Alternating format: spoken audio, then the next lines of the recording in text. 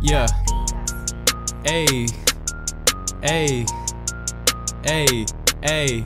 Hey. Yeah. Hey. Hey. Hey, hey, hey, hey. Noah's the newsman and family guy.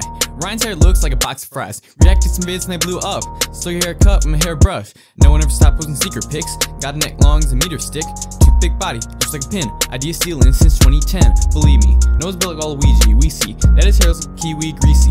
And the videos are cheesy, clearly. Noah's chin looks like tiki. Can't rap though. Why does Ryan always wear a snapback though? Why does Ryan always wear a backpack though? Why does Ryan just like tic tac toe?